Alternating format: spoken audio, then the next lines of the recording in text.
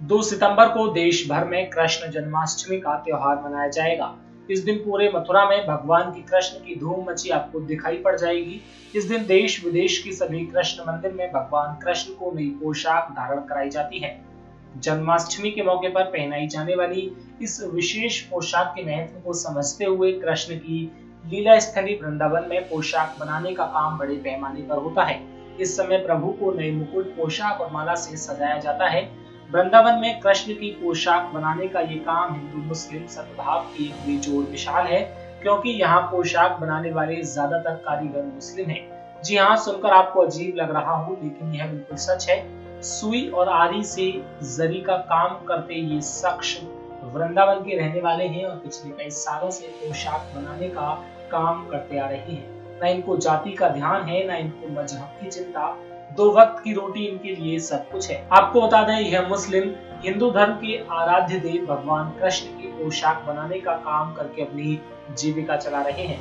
यह लोग इस बहाने कृष्ण की सेवा पूजा कर रहे हैं। धर्म की बंदिशों को तोड़ते हुए ज़्यादातर मुस्लिम पोशाक बनाने का कार्य करते हैं। इस वीडियो में आप देख सकते हैं किस प्रकार यहाँ के मुस्लिम मजदूर भगवान की पोशाक बनाते नज़र आ रहे हैं।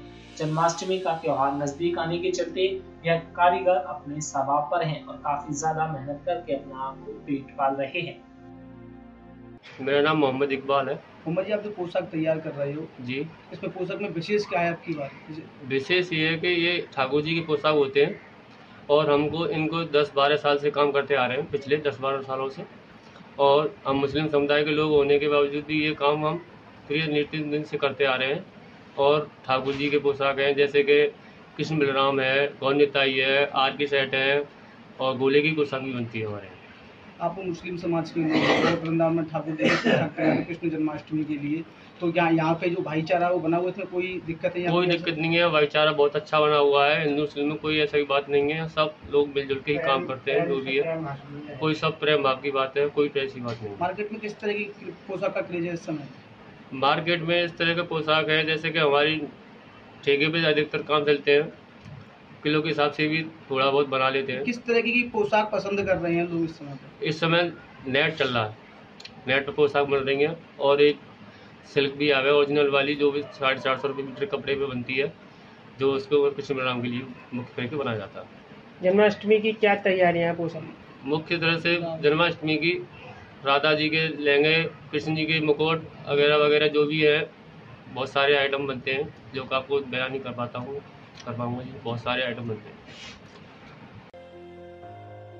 नेक्स्ट नाइन भक्ति सागर से आकाश की रिपोर्ट